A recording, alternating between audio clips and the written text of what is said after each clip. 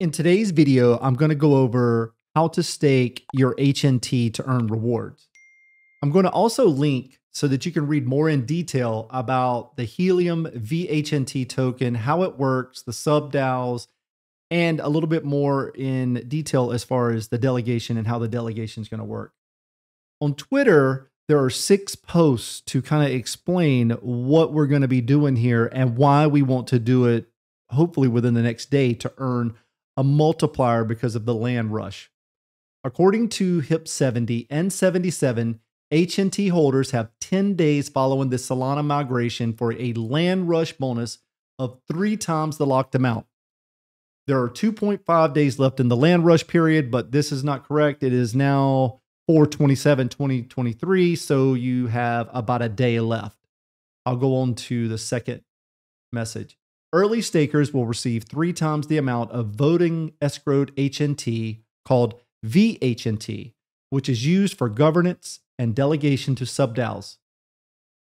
Lock-in HNT allows individuals to influence how changes are made to the Helium protocol and the future of global decentralized wireless participation in the land rush period increases that influence. Additionally, delegating VHNT to a subDAO allows stakers to receive rewards for that subDAO in the form of its token. You must be delegated for a full Helium epoch to receive rewards for that epoch. And there are more details here. Any amount of HNT is eligible to lock and establish VHNT position. This encourages new participants into our ecosystem, and any position can be locked up for four years.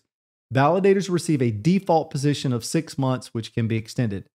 The land rush period ends at 2359 UTC on April 28, 2023. All HNT staked before this time will be eligible for a 3x VHNT bonus. Transferring tokens out of land rush positions will forfeit the bonus on tokens transferred out.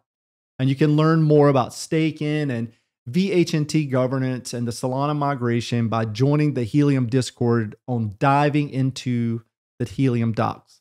And I'll have the links in the description on how you can find more information out about this.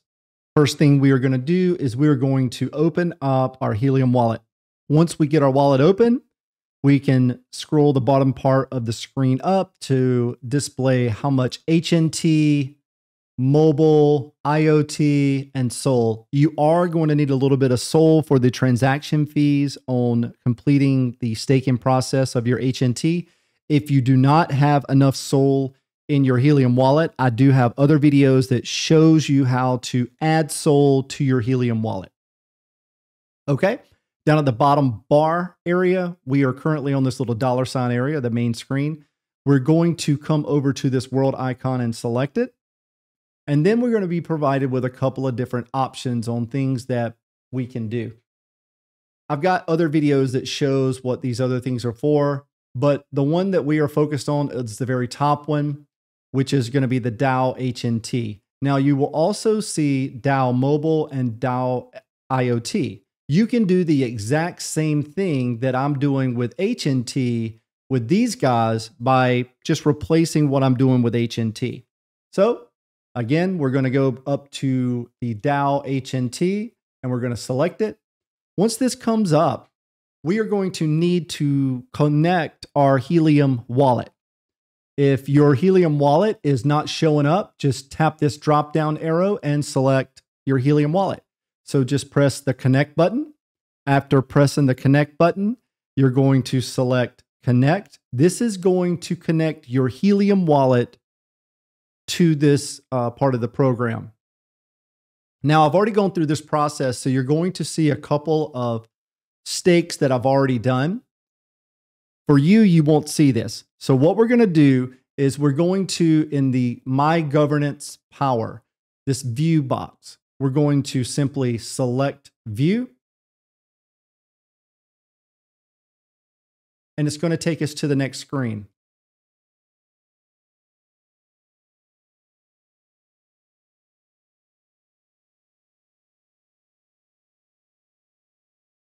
Okay. On the next screen, if you have already locked up you know, HNT, you're going to see some of this information. You won't have this. What you're going to do is this lock tokens icon, you're going to select this. And you're going to be taken to what type of lockup you want to do. There's decaying and then there's constant. There, what you can do is select what are the different types of lockups. So on the decaying, tokens are locked for a fixed duration and are released at in full at the end of it. Your vote weight declines linearly until release.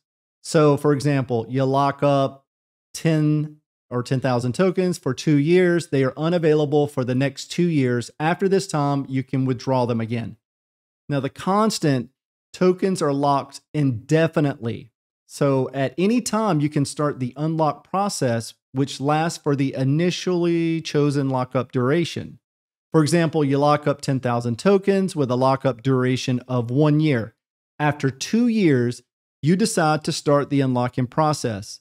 Another year after that, you can withdraw the tokens. So, in essence, the unlock process doesn't even start until you initiate it. So, if you said that you wanted to lock up your tokens for one year or three years or four years, that process does not start until you click the unlock button. So, what we're going to do is again, when I, I did the X out, I'm going to click lock tokens again. I'm going to choose decaying because I don't want to worry about this. I just want it to unlock automatically. If you don't want it to unlock automatically, choose constant, but I'm going to choose decaying. Now, the amount that you want to lock up, you can put one, you can put whatever you want. You can even do max. And just for the sake of this video, I'm going to choose, I'll choose 15. Now, what you're going to choose is do you want to lock it up for six months, one year, two year, three year, four year?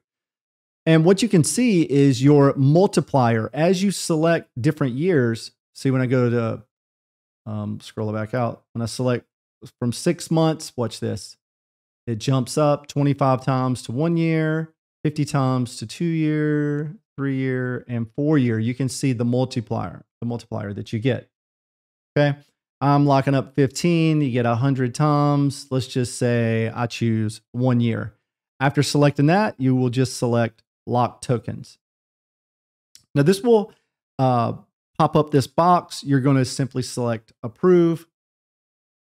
Now, this process is going to happen very fast. And there is one more step that we need to do after this for you to receive your rewards. Okay. Now, once you go back to the main screen, like what's happening right here, after it's refreshed, you're going to scroll down. Now, the first one, this is what I just did, but I want to show you the difference in the other ones. That one's 15. That's why I did a different amount. And you'll notice it says land rush. This land rush is only available for the next, you know, until tomorrow, about 24 hours from now. After that, you won't have this. Now you'll notice that it says delegate right here. This is the big part that we want to focus on. I'll come down to the next one, the 5 HNT that I did before whenever I was practicing this. It says undelegate, and I've already chosen what I wanted to uh, what I wanted to delegate to. And then this was another one that I practiced with. So we'll come back up to the 15 that we just did. And what we're going to choose is this delegate button. So select delegate. After choosing Delegate it's going to ask us to select an existing subDAO to delegate to. Once delegated, you can't perform any actions on this position until you undelegate. So we can choose IoT, mobile. I'm going to just simply choose IoT. You can choose whichever one that you want. After selecting it, select delegate tokens. It's going to ask us to approve. And pretty quickly, it's locked up. You have now delegated. And if you just want to confirm, you can kind of scroll through and look at all the uh, locked up tokens that you have have done in the past. Again, you can do you can do even just one. Just go through and do a, a bunch of ones. Do some IoT, some mobile, whatever it is. And this is how you lock up or stake your HNT. Again, if you do this uh, within the next 24 hours, you can get this land rush multiplier. However, if you don't, you're not going to get that multiplier.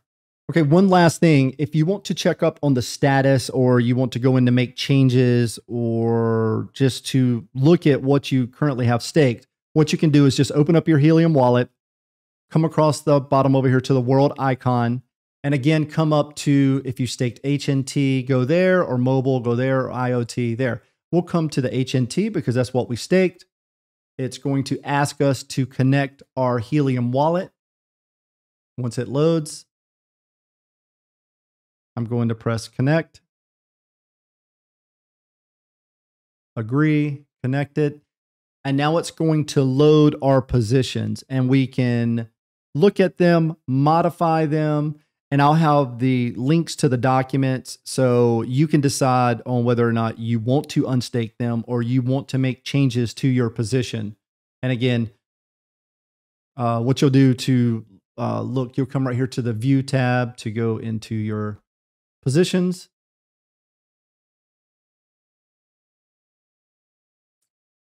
Okay, once that comes up, we're going to scroll down and you can see your lock positions, the 5 HNT that I did, the 10 HNT, and the 15. And that's it. Thanks for watching.